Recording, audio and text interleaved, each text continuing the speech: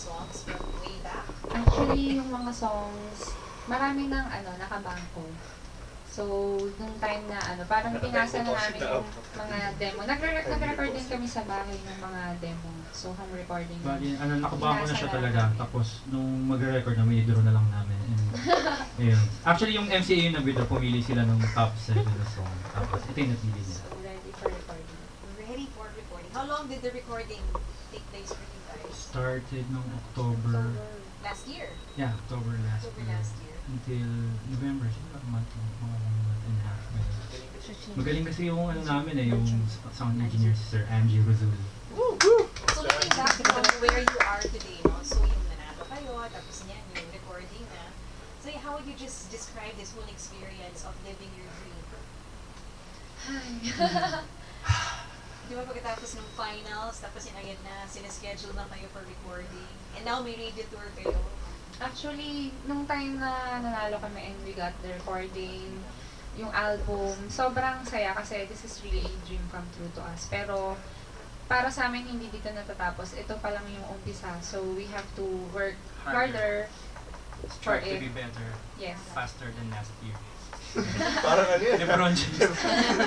ano naman yung mga lessons na na-pick up nyo along the way? And who are your mentors? uh, lesson. Ang pinakauna dyan, ano, don't stop believing. Then, Hold on to that feeling. don't stop, ano, kasi ano eh, di ba, start kami, parang after 8 years kami na nakakuha ng break talaga. Kasi eh, siguro kung ah, paano kung 3 years pa lang, 4 years na quit na Wala kami. na, no? Siguro ngayon, call center lang kami ngayon or eto, may app na ganun. Tapos, and da- dahil hindi kami nag ano, parang kung gusto mo talaga, itutuloy mo, push mo. Tapos, or, ano, kayo, ano natutunan niyo? Ako lang ba? yung ano, yung question, yung mentors namin, una-una syempre yung parents namin, na sila yung nagturo sa amin na bi- bago dumating yung moment na yun, dapat handang-handa na kami sa lahat ng aspect. So, malaking tulong siya na talaga for 8 years. Ready na kami. Tagal natin nag-practice na rin. Hindi, di ba all at his right time? yes. Yeah.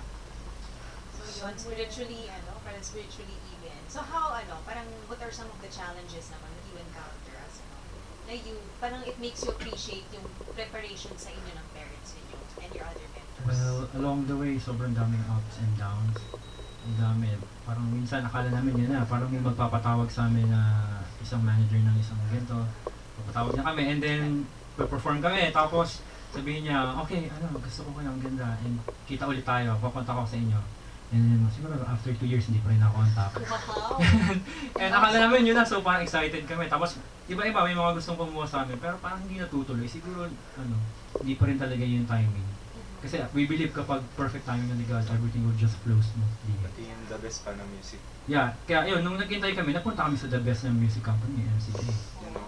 At saka si Miss Queenie. Oo oh, Yeah. nga. Saka sila Sir Sammy. Yes. Hi, Sir Sam. I love you. I love, I love you. Alright, let's move on to more music from Ictus. This next song is brought to us by Globe Prepaid. Be the best friend ever with Go Unleashed.